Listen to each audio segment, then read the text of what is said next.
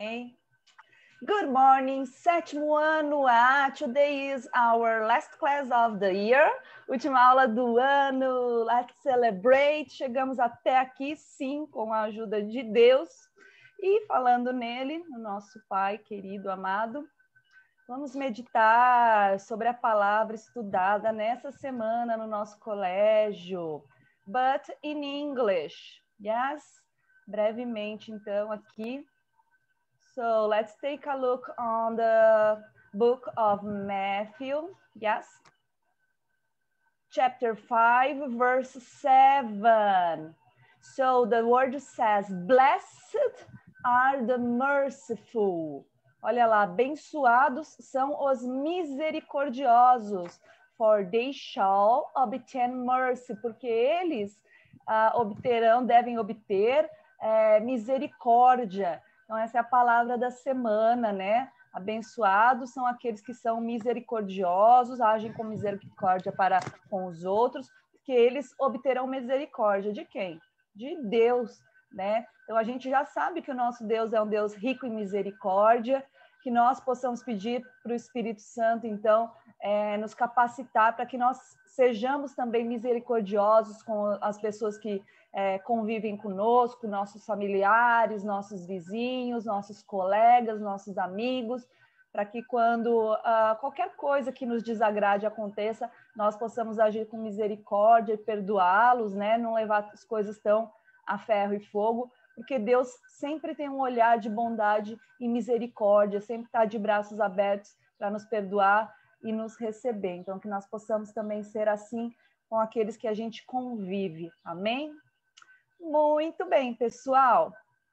Uh, hoje, assim como a teacher falou, nós vamos fazer uma breve revisão para a prova, mas antes eu queria é, finalizar aqui o capítulo 15. A gente falou, uh, começamos a falar aqui no capítulo 15. Let me take a look. Yes, about footprint. A gente estava falando sobre as pegadas que a gente deixa aí no meio ambiente, né? Como seres humanos. E a parte de gramática dessa, desse capítulo, ela fala sobre o uso de um verbo uh, que é, é, um verbo modal em inglês. O que, que é verbo modal, teacher? Verbo modal é aquele verbo que, mesmo que eu transforme o pronome, mesmo que seja richite, por exemplo, que é aquele que há a transformação do verbo, ele não muda. Tá? A gente vai ver isso no decorrer uh, também do, nosso oitavo ano, ano que vem no nono, a gente vai aprender mais detalhes e outros verbos modais, mas hoje a gente vai ficar somente com o could, tá? Então você pode uh, open your book on page number 138, 138, tá? E a gente tem lá a nossa seção Language Arena, que é a parte de gramática. A gente vai colocar aqui também para que nós possamos é, entender qual é o uso desse, uh, desse verbo modal, o could, ok?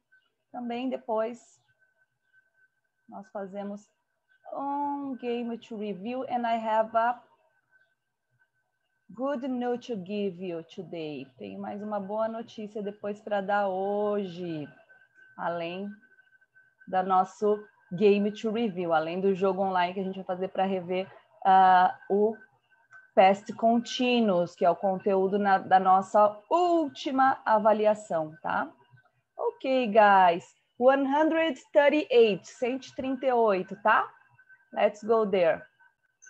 So, people, we have here, yes, two pictures. Let me try to give a zoom, yes. Olha lá, I have the picture letter A and I have the picture letter B.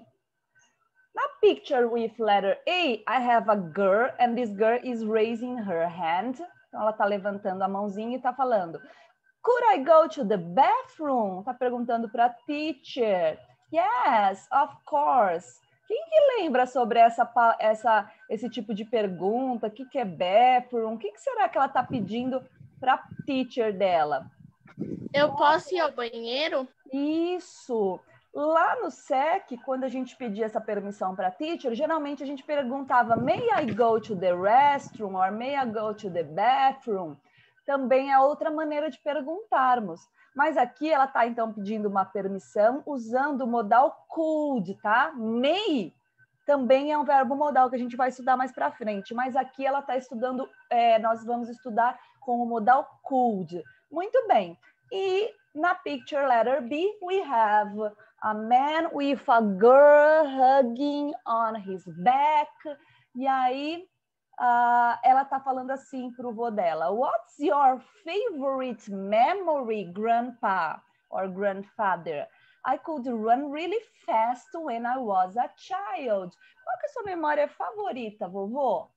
Ah, é que eu pude, eu podia, né, correr muito rápido quando eu era uma criança. Okay, so people, based on these dialogues, we have the question number two. Write A or B according to the situation above. Então vamos lá. Tá pedindo para a gente então colocar se tem a ver com a figura no letra A ou a figura letra B. Que na primeira, the verb could express ability. Ok? Em qual figura, na A ou na B, ele está expressando habilidade, algo que conseguia fazer? Pode ser microfone or chat, guys. Letter B. Yes, letter B. Ok, lindo, maravilhosa a letra da teacher. And the verb could is, is uh, could is used to ask formally for permission. Qual que é permission, então? Letter A. Então, olha lá, pessoal. Baseado nessas frases, nós sabemos agora que nós usamos o verbo modal could, yes, para expressar uma habilidade, né? Como está aqui na figura picture B, ou também para expressar uma permissão formal, tá? Então, eu poderia ir ao banheiro, então could dá essa permissão mais formal. Lá na sala de aula, a teacher Sabrina usava may, né? Porque eu não sou uma pessoa tão formal, sou mais brincalhona, tudo, mas ambas podem ser usadas. Se tivermos um ambiente muito formal, could, ok? Beleza, nós vamos fazer a mesma coisa agora, classifying the sentences into categories, ok? Vamos classificar agora as outras frases aqui, ó. Será que elas têm a ver com a figura A, que é permissão, ou será que elas têm a ver com a figura B, que é habilidade? Peraí que tem gente entrando aqui, ok, no problem. Letra A, the number three. They could decorate the garden with natural plants, tá? Decorate the garden, decorar o jardim. Será que está falando sobre permissão ou sobre uma habilidade aqui? A or B? O que vocês acham, people? Vamos colocar aqui em cima, então. Aqui a gente tem permission, né? Só para a gente lembrar das figuras e o que, que elas têm a ver. E aqui uh, nós temos here ability. Okay? Abilidade. Very good. So, okay, they could decorate the garden with natural plants. This is an ability. Outra página mesmo, eu me perdi aqui. Perdeu-te 138 no seu livro. Sim? Yes, uh-huh, that's it. Obrigada, teacher. No problem. Letter B. Could I bring plastic straws to the pantry? Será que posso trazer sacolas é, plásticas? Está pedindo uma permissão, né? Então, letter A. Could you contact the local producers to order food? Você poderia uh, entrar em contato com os produtores locais para pedir comida? Isso não é uma permissão, né? Ele está falando se ele consegue entrar em contato. So, é uma habilidade. B. And the last one, he couldn't find large uh, reusable bags for the trash. Ele não conseguiu. Olha lá, agora que eu tenho could, só que na negativa.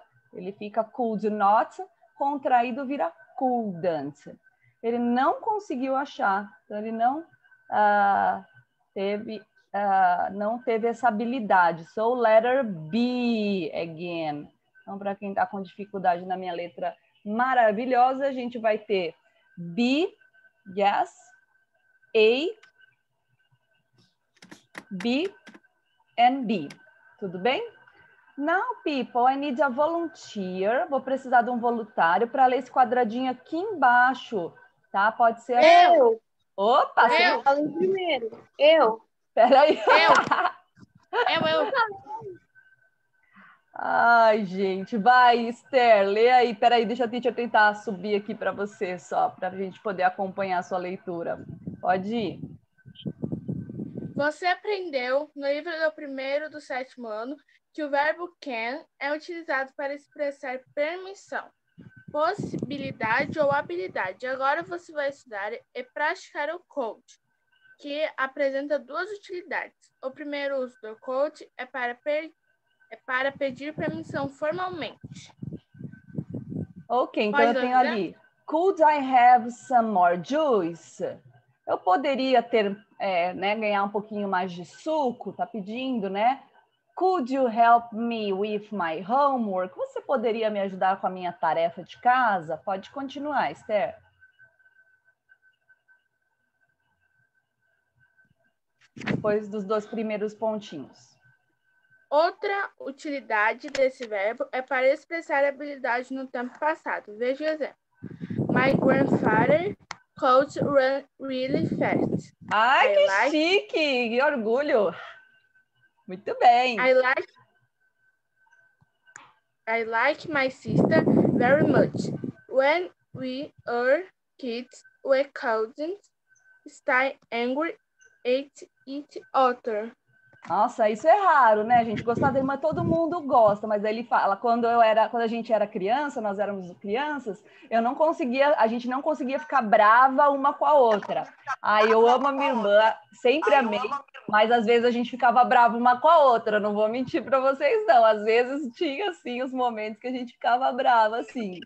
Muito bem, pessoal. Aqui no language tip, a gente tem então o can na negativa vira can't. E o could na negativa vira couldn't. É o can com o not de uma forma contraída e o could com o not da forma contraída, beleza? Muito bem, nós vamos fazer aqui uh, exercise number four. Find the mistake and underline. Tá? Então a gente só vai sublinhar, underline. Pode falar. É, a gente pode usar é, tanto o can quanto o code é, para usar nas frases, ou você pode, tem que usar só um e não outro? Ambos podem ser usados para permissão, né? Mas o can é informal e o could é mais formal, tá? Aqui ele está pedindo mais para a gente usar o could, tá? Então, olha lá, ele quer que a gente ache o erro e sublinhe no 4. Underline, that means sublinhar. I could using a smartphone when I was three. I could using a smartphone when I was three. Ok? Então, ele está falando aqui, ó.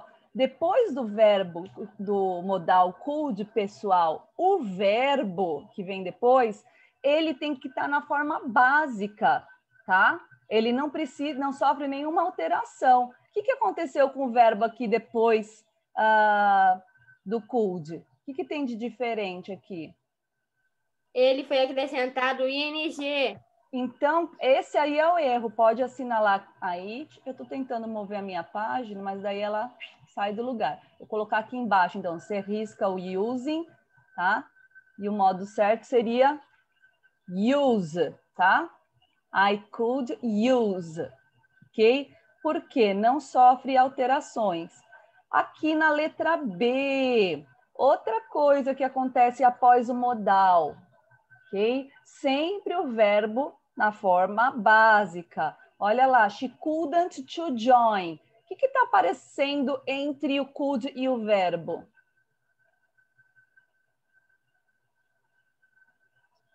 O T? O to, tá? Esse to não é para estar tá aí, não, tá? Então, she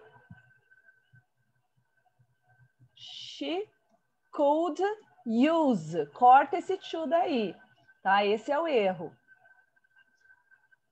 Prof, tem uma pergunta. Tem que arrumar as frases ou não precisa? Pode, se você riscar, ela já fica arrumada, tá? Eu que estou colocando aqui porque eu não estou conseguindo mover minha tela. Ah, My beleza. sister was could take a quick shower. De novo, eu estou falando que com could, o verbo não pode sofrer alteração, tá? O verbo take está aparecendo aqui normal, só que eles mudaram o tempo verbal. O que está aparecendo ali? Qual o tempo verbal que está aparecendo ali que não era para estar? Tá? O was, Radassa, não existe esse was daí, tá? My sister was could, não podia ter, tá? O could, ele sempre manda que o verbo esteja na forma básica. Então, você vai cortar uh, o could, tá? Corta o could. Oh, desculpa, cortem o was. A teacher tá crazy aqui, né? Corta aquilo que está indicando o passado, que não podia estar tá lá. Sorry. Muito bem. Could you? Ah, esse vocês podem falar sozinho. Olha lá, o que está atrapalhando aí? O que, que é desnecessário nessa frase? O que, que não podia ter aí? Quem que acha agora? Vocês já viram uma regrinha. Útil? Útil, isso mesmo. Então vai lá, ó. Agora eu vou conseguir. Tararam. Só corta esse tio daqui. Beleza? Muito bem. Nas cinco aqui, ele quer que a gente complete as frases usando um dos verbos que está na caixinha, with could, tá? Então, sempre vai ser could e mais um verbo, sem alterar tempo verbal. I, blá, blá, blá, the rain outside. Eu não sei o que lá, a chuva fora. Tá, o que, que será que ele quer dizer? Anota aí as traduções do verbo. Borrow, emprestar. Vamos colocar aqui. Change, mudar. Finish, vocês já sabem, né? Hear, ouvir. Ride, dirigir. Yes. Touch, tocar, tá? Então, qual será que é o verbo que cabe melhor aqui nessa primeira frase? Blá, blá, blá, the rain outside. Ô, professor, eu acho que é ouvir a chuva. Yes, hear. Ok? Yes, that's it. Muito bem, Ti. The ele electrician, blá, blá, blá, the light bulb very fast. O que, que o eletricista, não sei o que lá, a lâmpada super rápido. What's the correct verb here? A Daça está fechado o microfone. Ah, eu acho que vai ser o mudar. Mudar? Yes. Change, mudou, mudar, trocar, ok? Esse change pode ser mudar ou trocar. Aqui eu tenho Não, uma. Tem que colocar o could no começo? Verdade. Só esqueci do could. I could hear, Adassa. Vamos pôr na frente aqui. I could change. Eu acho que eu atra... é, quase atropelei o change aqui. E agora, se eu quero fazer uma pergunta, vou começar com o could, o pronome e o verbo. Could la, la, la, my bike? Ah, esse verbo é fácil.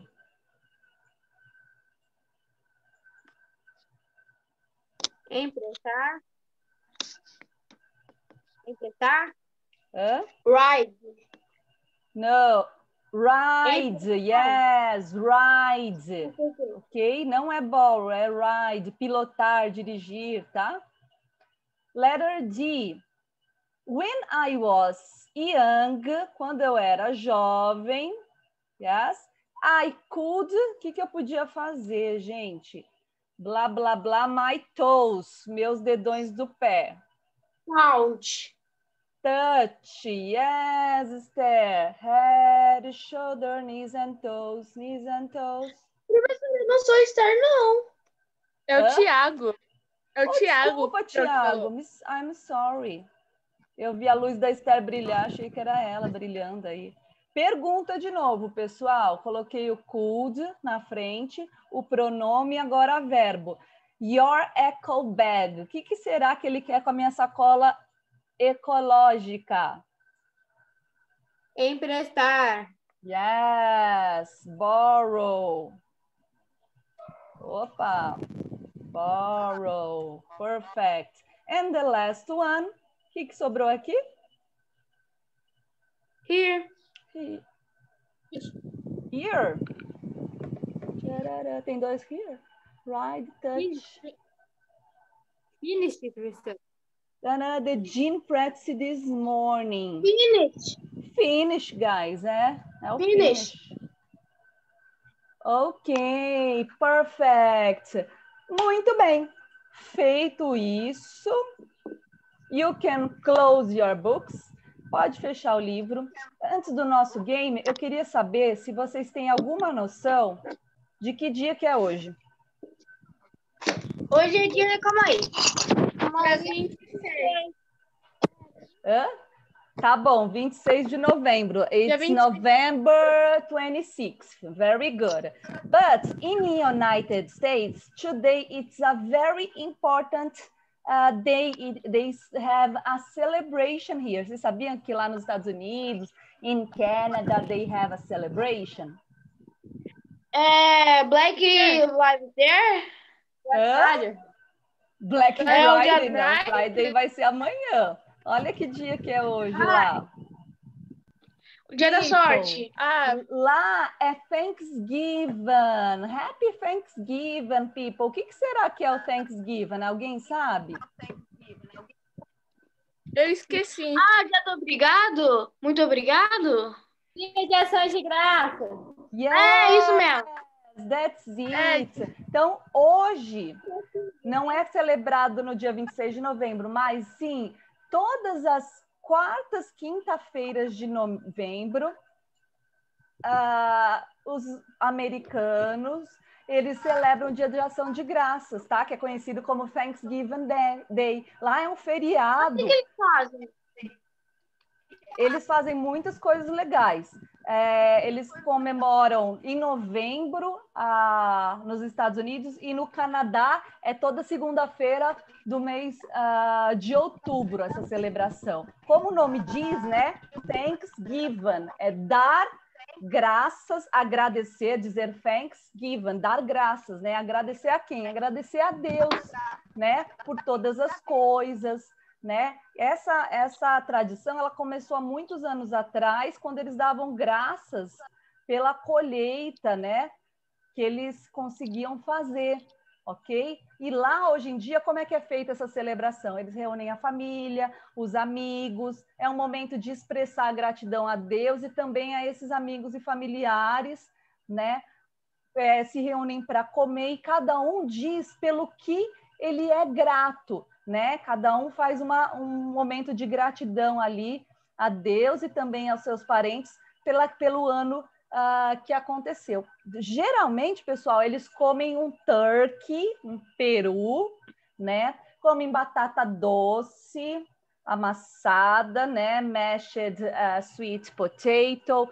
They ah, eat pumpkin pie, torta de abóbora, apple pie, torta de maçã, tem vários pratos gostosos que eles comem para celebrar numa janta, fazem brincadeira com as crianças. É um feriado muito importante, que eu acho muito legal, né? Assim que às vezes eles pegam na cultura americana e trazem o Halloween, se fosse eu para escolher, escolheria trazer o Thanksgiving aqui para que a gente possa comemorar. Então, conta aí para seu pai, para sua mãe, que hoje é dia de ação de graças, convida eles aí para agradecer por algum motivo, tá? E porque sempre é importante a gente ter essa memória de, de gratidão a Deus. Yes? Very good. Let's play A senhora já our game. participou disso nos Estados Unidos? Hã? A senhora já participou é, é, disso nos Estados Unidos? Não, da festa ainda não participei. Quando eu fui para lá, eu não, não, está, não era data de Thanksgiving, não. Ok? Ah. People, vamos fazer então no, o nosso jogo para revisão sobre a prova, que será semana que vem, ok? O que, que vai ser?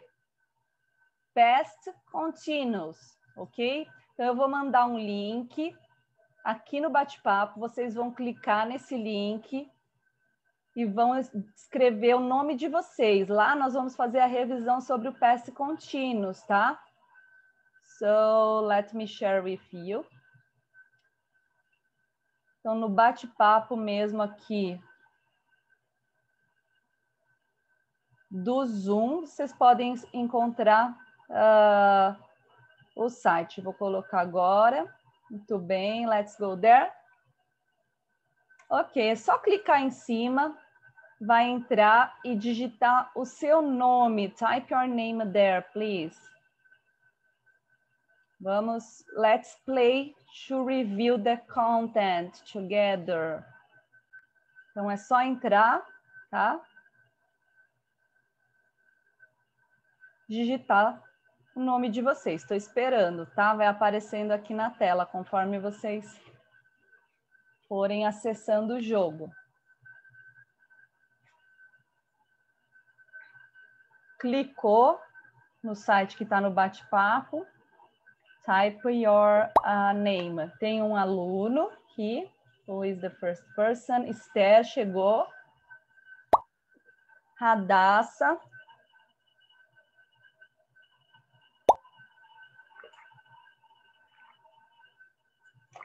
Tiago. Let's go, people. Tem mais gente na sala. Bora lá. Elias, Rafael, where are you guys?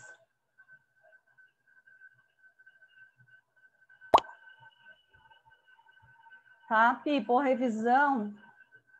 Nós vamos então completar. Atenção para as regras de was, you were, ing, ok? Ô, teacher, aparece isso. Como que a gente, a gente começa a fazer? Vou dar agora, vou dar o, o comando agora, tá? Let's go there. Three, two, one, and go.